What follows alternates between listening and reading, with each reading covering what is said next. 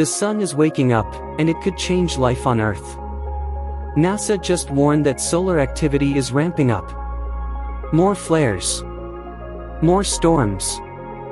More risk to GPS and satellites.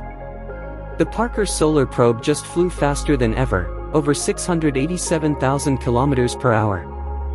It's helping us get closer to the sun's secrets.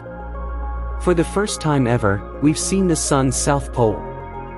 ESA's solar orbiter revealed wild magnetic structures we've never seen before. NASA also launched the IMAP mission to study the edge where the sun meets interstellar space. It could change how we understand space weather and Earth's protection.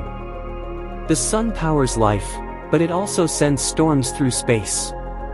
Now, we're finally starting to read its warnings.